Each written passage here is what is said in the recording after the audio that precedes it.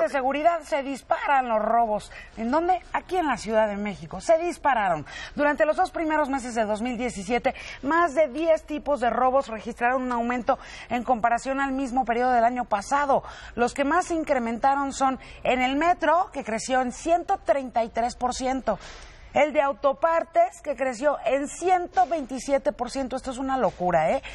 Y el robo de celulares que creció en 120%. Son cifras de verdad descomunales, aterradoras para el incremento de delitos en una misma ciudad. Y es que la inseguridad ha aumentado durante los últimos años, particularmente aquí en la Ciudad de México. La nuestra, esta ciudad, experimenta la segunda crisis de homicidios dolosos más grandes más grande, perdón, desde 1997, de acuerdo con el Observatorio eh, Ciudadano de la Ciudad de México. Cheque de qué le hablo.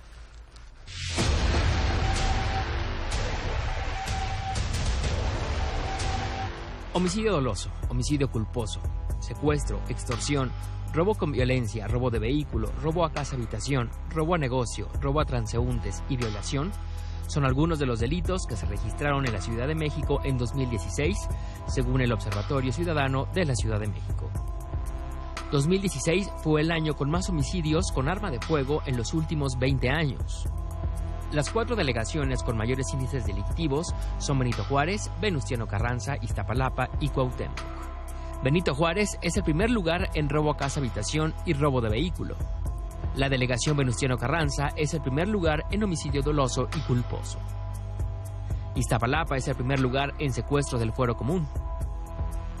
La delegación Cuauhtémoc es el primer lugar en extorsión, robo con violencia, robo a transeúnte, robo a negocios y violaciones.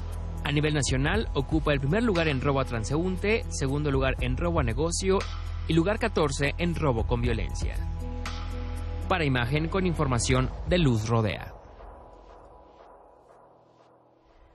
Pues ahí un mapita, un mapeo de cómo está operando el crimen en la Ciudad de México.